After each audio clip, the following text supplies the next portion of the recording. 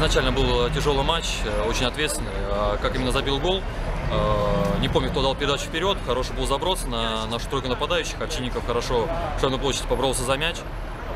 Э, Получилось так, что от него либо мяч скатил, либо он мне нацеленно оставил мячик. Немножко мячик подскочил, и я просто не задумываюсь, потому что поле плохое. Не стал ничего выдумывать, сразу просто пробил в дальний угол и смотрю, мяч уже в сетке.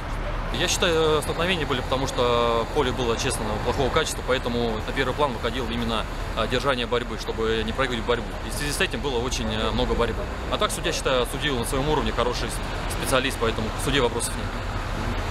Такое впечатление, что нехотя уходили с поля, вот э, как э, когда заменили. Нехотя, ну, потому что и тренер спросил, говорит, селенки есть, я говорю, что уже все, и много работы черновой мы сделали, поэтому не было уже сил.